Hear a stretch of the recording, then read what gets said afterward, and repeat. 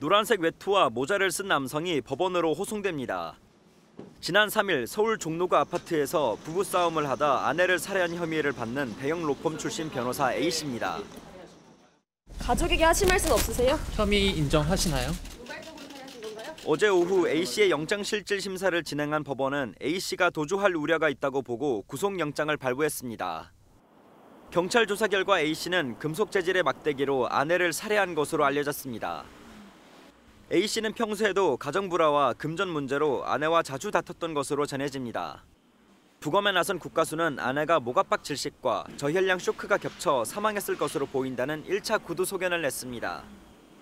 A씨는 전직 국회의원 아들이자 대형 로펌 소속 변호사였는데 사건이 일어난 직후 퇴사한 것으로 알려졌습니다. 경찰은 A씨가 아내를 살해한 정확한 경위를 조사할 예정입니다. 두꺼운 외투에 모자를 뒤집어 쓴 남성 A씨가 법원으로 들어섭니다. 가족에게 하실 말씀 없으세요? 혐의 인정하시나요?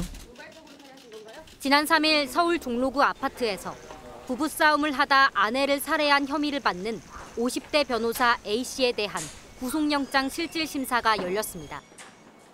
A씨는 범행 이후 아내가 머리를 다쳤다며 119에 신고했지만 경찰 추궁 끝에 긴급 체포됐습니다.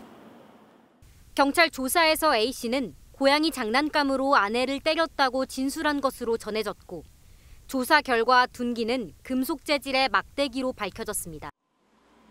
피해자인 아내와는 평소에도 가정 불화에 금전 문제로 다퉜던 것으로 전해졌습니다.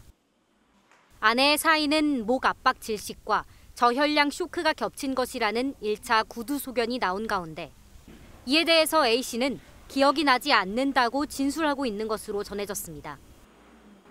A씨는 전직 국회의원 아들이자 국내 유명 로펌 소속 변호사였던 것으로 밝혀졌는데 사건 이후 퇴사한 것으로 알려졌습니다.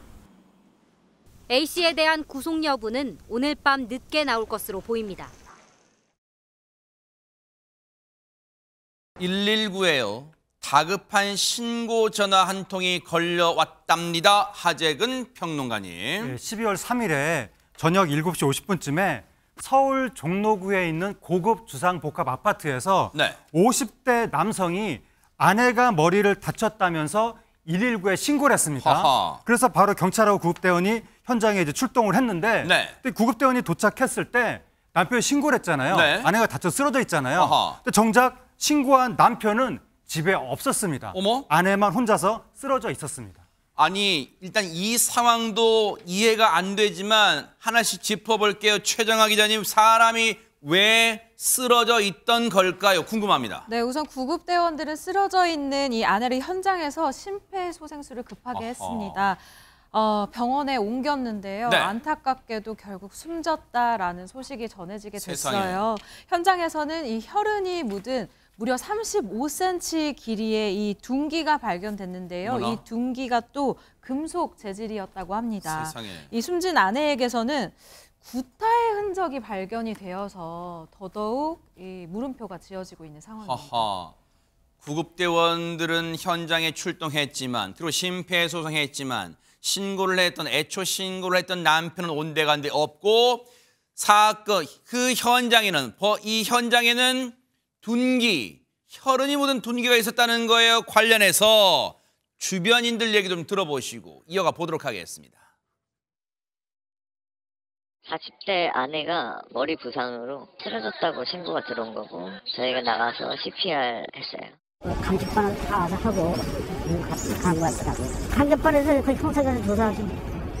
우리 조사하겠죠. 자, 딱 그 현장 상황만 봐도, 상황만 봐도요. 박성배 변호사님 이거 심상치 않은 강력 사건이 벌어졌다고 직감할 수 있는데 일단 신고를 했던 남편은 대체 어디 간 겁니까? 남편은 신고 이후에 집을 나갑니다. 그리 1시간 30분 후에 변호사와 함께 돌아오는데 어허. 그동안 경찰이 외부 침입 흔적 등 범죄 정황도 확인해 본 모양입니다. 네. 남편이 의심스러웠던지 돌아온 남편에게 이 범행 사실을 추궁하기 시작합니다. 그렇지만 아하. 남편은 묵비권을 행사합니다. 그렇지만 계속된 추궁에 결국 남편은 자신이 아내를 살해했다고 시인했고 현장에서 살인 혐의로 긴급 체포됐습니다. 세상에 이게 대체 무슨 얘기입니까? 버젓이 신고를 했던 남편이 알고 봤더니 자신의 아내를 이렇게 몹쓸 짓을 저지른 사람이었다는 거예요. 그런데 박성배 변호사님 애초에 신고는 해놓고 현장을 떠났어요. 그런데 한시간반 뒤에 돌아와서 그 사이에 뭘 했던 걸까요, 그러면? 어, 범행 후 1시간 30분이 지난 오후 9시 30분경에 남편이 집에 돌아와 체포됐는데 경찰이 그 사이의 행적에 대해서, 대해서도 추궁을 했습니다. 네. 이 남편은 딸을 데리러 갔었다고 설명을 했지만 사실인지 여부가 아직까지는 불분명합니다. 어. 1시간 반 동안 누구와 접촉했고 어디에서 무엇을 했는지도 경찰이 수사를 진행하고 있습니다.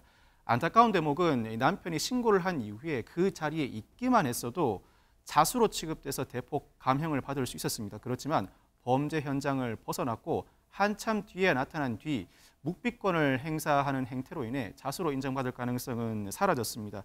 한 시간 반 동안 변호사를 선임했을 수도 있습니다. 아마 변호사를 선임하는 과정에서 의도치 않게 이와 같은 일이 발생했다고 설명하고 도움을 얻으려고 했을 수 있겠습니다만 사실 여부와 별개로 불필요한 의심을 불러일으키게 됐습니다. 혹시 사전에 모의한 누구가 있지는 않는지 단순 불화로 이와 같은 일이 벌어진 것은 아닌 게 아닌지 또한 이 사건은 범행 후에 처리할 일이 있었던 것은 아닌지 여러모로 경찰이 수사를 확대해야 할 상황이 벌어졌습니다. 한 시간 반 그 긴 시간이 아니기 때문에 사실 경찰은 그동안의 행적을 충분히 조기에 발견할 수 있습니다. 네. 예, 통화 기록 수 발신 등 동선을 추적해낼 수 있고 가족, 전 직장 동료뿐만 아니라 극단적인 상황이 발생했을 때 도움을 청할 주변 인물들 탐문 조사를 통해 아마 머지않은 시점에 그동안의 행적을 밝혀낼 수 있을 것으로 보입니다. 지금 미스터리한 대목은 있어요. 왜냐하면 일단은 남편은 자기가 스스로 경찰에게 추궁 끝에 경찰의 추궁 끝에 내가 아내를 살해했다라고 진술은 했지만 범행 현장에서 신고 후에 앞서 들으셨죠. 한시간 반 동안 어딘가를 갔다 왔고 한시간 반 뒤에 변호사와 같이 현장에 온 건 확인됐는데 딸을 데리러 갔었다는 이 사람의 말 그런데 딸이 진짜 현장에 왔는지는 아직 경찰이 확인해주지 않고 있는 상황이에요. 그런데 이담 아나운서 여- 이 대목에서 정말 궁금증을 지울 수가 없어요. 왜 남편이 아내를 상대로 이런 몹쓸 짓을 저지른 겁니까? 경찰이 아마 그와 관련해서 조사를 하고 있는 것으로 보입니다. 일단 당시에 이 남편이 음주 상태는 아니었던 것으로 파악이 됐고요. 네. 경찰에 따르면 이들 부부는요 평소에 금전 문제와 성격 차이로 자주 다퉜고 또 별거 중이었다고 합니다. 남편의 집으로 아내가 찾아갔고 부부 싸움을 하다가 남편의 주장으로는 우발적으로 폭행을 한 것이다라고 이야기를 했습니다. 네. 경찰이 국립과학수사연구원에 시신 부검을 의뢰해서 정확한 사망 원인을 조사 중인데요. 네. 조금 전에 1차 구두 소견이 나왔습니다. 아하. 구두 소견 결과 예, 경부 압박 질식과 저혈량 쇼크가 경합한다는 소견입니다. 경부 압박이라면 목인 거잖아요. 음. 네. 그래서 목을 졸랐을 가능성이 지금 생긴 겁니다. 네. 그리고 경찰은 지금 남편에 대해 구속영장을 신청했고요. 어, 살해 의도 언제부터 있었는지 또 왜 현장을 빠져나간지에 대해서도 집중 조사하고 있습니다. 경부 압박 질식과 저혈량 쇼크라면 출혈이 컸다. 이 둔기로 인한 둔기로 인한 폭행으로 출혈이 컸다라는 걸 짐, 미루어 짐작해 볼 수 있는 사인인데 그런데 보세요. 이 범행을 저지른 남편의 직업이 알려지면서 더더욱 이 사건의 미스터리한 점이 증폭되고 있다면서요, 김현주 평론가님. 네, 경찰에서 조사를 해보니까 이 지금 남편이 국내 대형 로펌에서 근무하고 있는 변호사였다고 합니다. 아, 미국에서 변호사 자격증을 아마 따가지고 온 모양이에요. 네. 더구나 더욱 놀라운 사실은 이 지금 남편의 부친이 전직 다선 국회의원이고 검사 출신이었다고 합니다. 그래서 더욱더 충격을 주고 있는데 이 남편이 근무했다고 하는 해당 로펌 관계자에 따르면은 이 피의자가 범행 이후에 퇴사 의사를 밝혀서 현재는 이미 사직 처리가 됐다라고 이야기를 하고는 있습니다만 그간의 일부 보도를 통해서는 이미 범행이 있기 전에 사직을 했었다라는 이야기도 있어서 이 사실관계에 대해서는 앞으로 보다 조사가 필요하지 않을까 싶습니다.